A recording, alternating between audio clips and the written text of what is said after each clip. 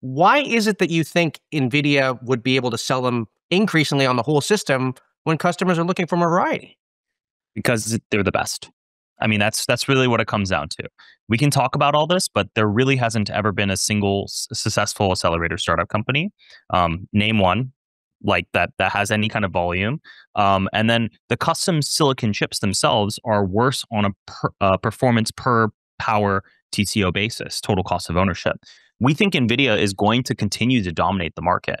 Now, I don't think we expect their level of market share dominance to continue for that same reason that you talked about. I don't think anyone is really interested in having one player have 95% of the market. Now, that's where the custom silicon projects that most of the other hyperscalers are adopting or using or already have will come into the equation.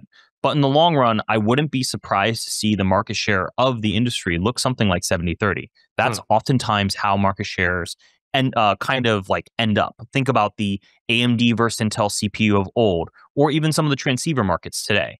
Oftentimes, you have one extremely dominant leader that has the best performance, and then you have a second source that is often not as performant but cheaper. That's how I view the ASIC and I uh, the ASIC programs, and I think that that's probably where it ends up. Now, to be clear, um, 95% to 70% is a big gap, but I do expect NVIDIA to be the the like uh, the leader for as far as we can see.